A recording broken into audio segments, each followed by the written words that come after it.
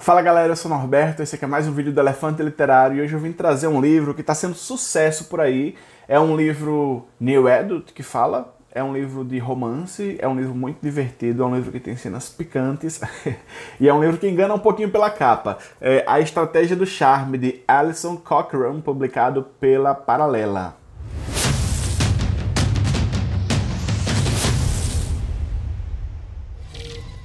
O seguinte é esse.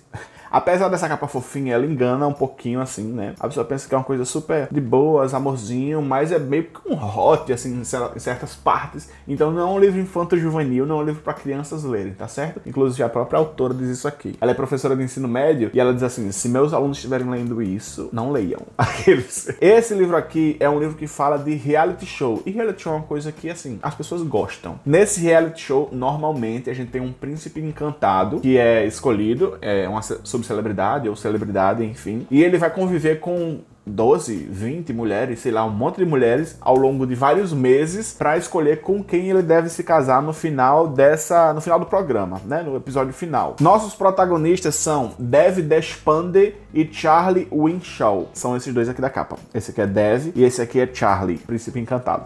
E assim, falando sobre os personagens, Dev, ele parece ser daquelas pessoas, ele é o produtor, né? É escalado para ser o produtor de Charlie, só deixando isso bem claro aqui. Ele era na verdade acontece uma treta lá do passado dele entre as pessoas que, enfim, quem lê vai saber mais, mas ele é mudado de posição. Ele ficava cuidando das, das meninas lá do, do reality, enquanto outra pessoa ficava cuidando do príncipe. Aí ele foi escalado para cuidar do príncipe, junto com Jules, que é a assistente dele, e é tipo assim, uma maravilha. Eles são personagens incríveis de verdade. Aí Dev, ele é daqueles personagens que parece ser uma pessoa que quando chega no canto todo mundo fica feliz de ver. Uma pessoa que agrega outras pessoas, é uma pessoa legal, uma pessoa comunicativa, uma pessoa simpática, uma pessoa que tem um senso de humor muito bom. E desde o começo do livro ele sempre mostra ser muito para cima, muito para frente, muito divertido, o que é só uma das camadas que a gente vai conhecer ao longo da história. Que ele é um personagem bem aprofundado e por baixo dessa alegria toda, dessa camada aí, tem várias outras camadas camadas a serem exploradas ainda. Já Charlie, que é nosso outro protagonista, eu cheguei a pensar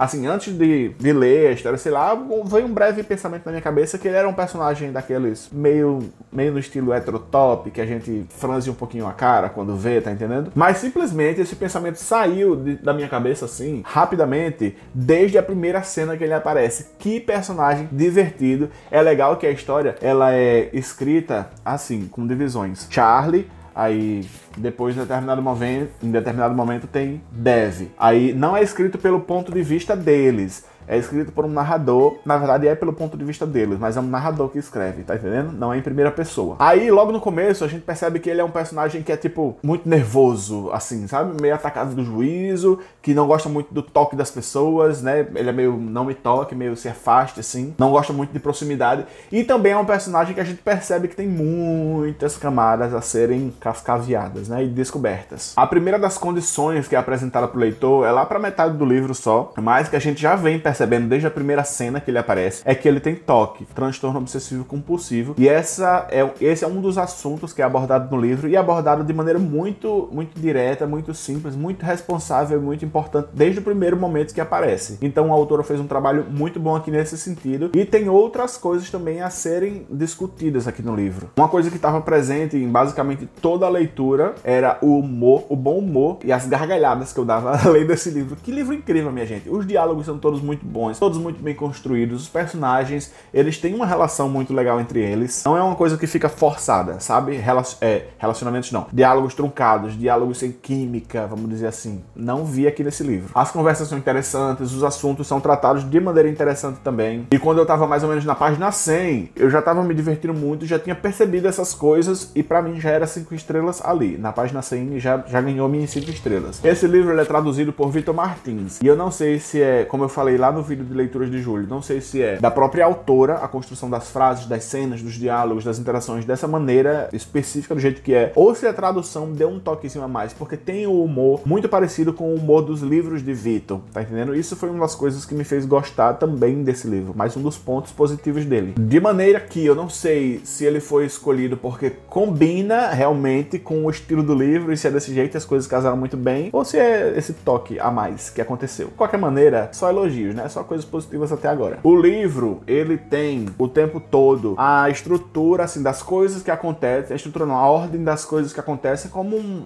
romance new adult contemporâneo tradicional. Os personagens se conhecem, não se conheciam antes, aí se conhecem, se encontram, rolam uma tensão, aí rola um clima legal, aí depois brigam, aí depois, ai, voltam a ser, voltam a ser cenas de amor.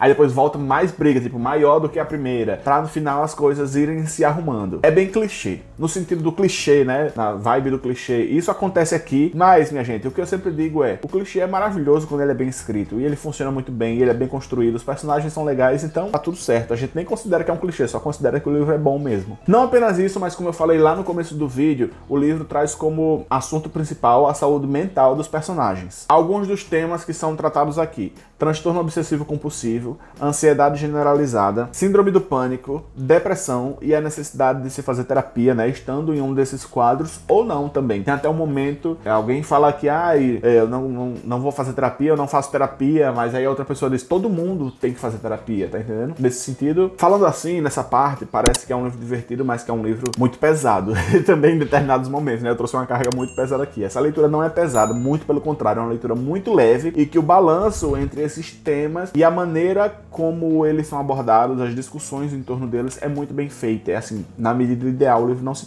é, um fardo em nenhum momento. Essas discussões não parecem é, palestras em nenhum momento. Além disso, tem uma passagem sobre sexualidade aqui que eu acho que tá na página. Deixa eu ver aqui. Eu não vou dizer a página também para não spoiler para vocês, é só para ver se eu, se eu lembro mesmo. É mais ou menos na metade do livro, que é simplesmente assim, perfeito, que é sobre uma personagem é, discutindo a sexualidade de outro personagem, obviamente.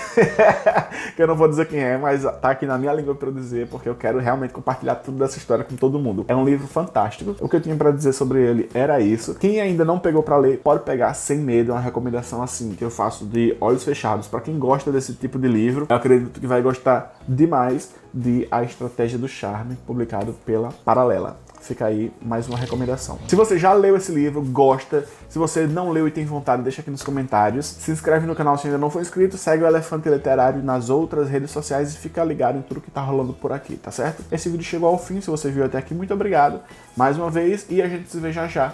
Valeu!